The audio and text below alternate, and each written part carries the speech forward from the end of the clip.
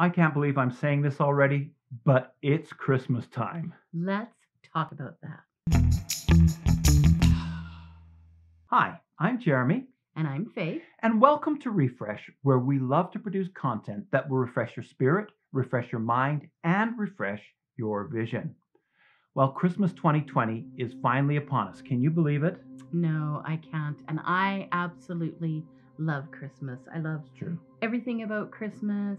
I love the uh, parties and the shopping and the food and the lights. I love looking at light, bright lights around the town. Of course, for me, the food is the big thing. I, I love Mhm. all the food that we have at Christmas, and uh, that's one of my favorite thing. I love, my favorite thing is buying gifts. Yes. I love buying gifts for my grandchildren. I love buying gifts for my kids and friends, and that's just my my fa- gifts are my love language. So Mhm. that's my favorite thing.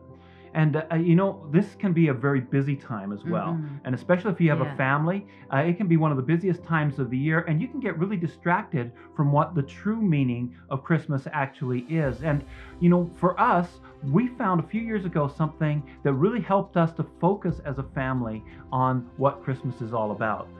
Yeah, we got a gift from my brother and sister-in-law, Doug and Jenny. Yeah. we bought they gave us a book called jotham's journey and that was amazing that was one of the best gifts that us as a family could have received And what I really like about it is it's divided up for all the days, every day from the beginning of Advent Mhm. right till Christmas Day. So you've got a little bit of a story about this this young boy named Jotham, and you've got a scripture verse that goes along with it. And we would just kind of sit around either in the living room or around the table with a glass of eggnog for those who like it, uh, and uh, the, the, and, and just kind of enjoy that time, just kind of reading through it. And it culminates on Christmas Day uh, with the Christmas story kind of woven into the, the tale of Mhm. Jotham.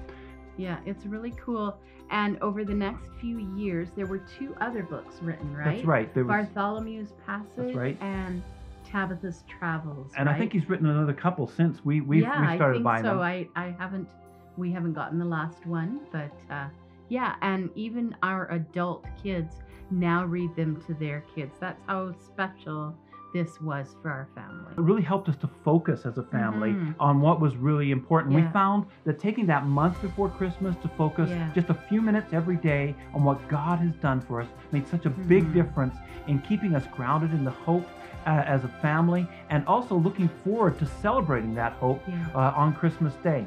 And I think that's about all really that we want to just share for this time. So until next time, keep looking upwards, keep moving onwards, and we will see you in the next video.